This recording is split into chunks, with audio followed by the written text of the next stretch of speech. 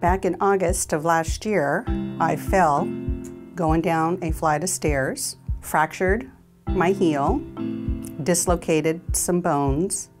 I ended up having to have surgery and had a plate and 12 pins put in on the side of my foot. I couldn't drive.